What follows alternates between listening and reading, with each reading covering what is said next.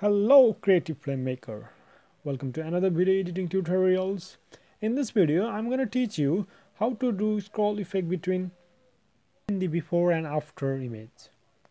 You can use this effect on video but you can also use this on still or images.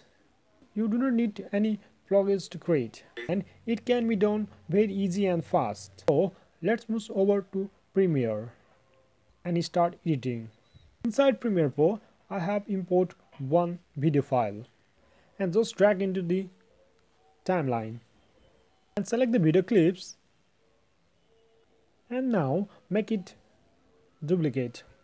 Video track with your with your left mouse button combine with the alt key of your keyboard and then moves one track of right above the first video track just ahead to the effect control panels.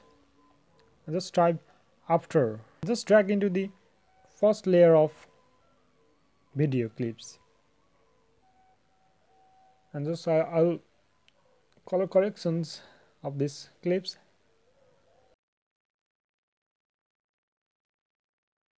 Again ahead to the uh, effect panels and just uh, source crops. You will find it's under video effect transform select and apply it to the second video. And then move over to the effect control panels. You got the second track selections.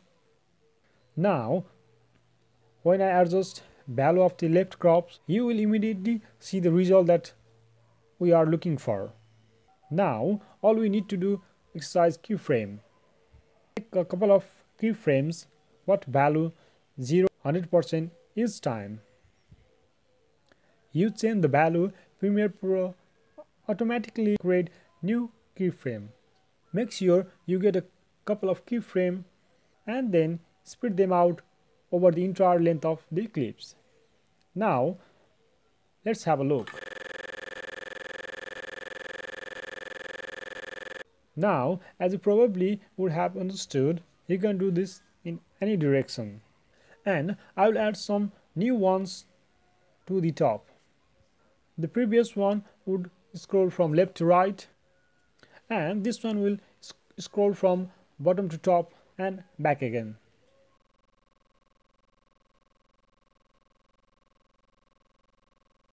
Make sure you get a couple of keyframe and then spread them out over the entire length of the clips.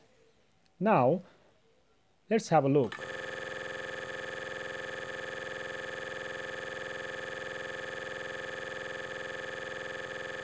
Hope you guys understand.